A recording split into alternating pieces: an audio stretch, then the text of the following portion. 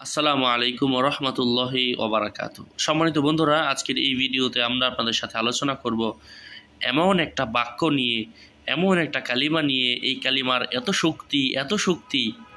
এই কালিমা যদি আপনি দোয়ার মধ্যে একটু বেশি বেশি পাঠ করেন, আল্লাহ পাক আপনাকে খালি হাতে ফিরিয়ে দিবেন না ইনশা আল্লাহ এমন একটা পরীক্ষিত অজিফা তো দিনী ভাই বোনেরা, সেই অজিফাটা আপনাদেরকে আমি জানিয়ে দিচ্ছি ইনশা আল্লাহ হাদিস এসেছে, আনাস ইবনে মালিক রাজি আল্লাহ তালানো থেকে বর্ণিত। আল্লাহ রসুল সাল্লাহ আলী আসাল্লাম বলেছেন, তোমরা সর্বদা তোমাদের দোয়া করার মধ্যে বেশি বেশি করে ইয়া জাল জালালি ওয়াল ইকরম বাংলা উচ্চারণ আছে, ইয়া জাল জালালি ওয়াল ইকরম হে মহত্ব ও মর্যাদার অধিকারী বলাকে আবশ্যক করে নাও। অর্থাৎ এই কালিমাটা আপনি বললেন, হে আল্লাহ, তুমি আমাকে এটা দাও, সেটা দাও।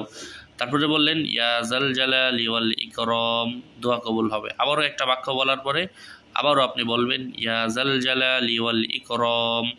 এই হাদিসটা সুনানে তিরমিজি, হাদিস নাম্বার তিন হাজার পাঁচশত পঁচিশ, সুনানে আহমদ এবং ইবনে হাম্বল এবং আবু ইয়ালা এদের থেকে বর্ণিত এবং এই কিতাবগুলোর মধ্যে এ বিষয়ে হাদিস রয়েছে।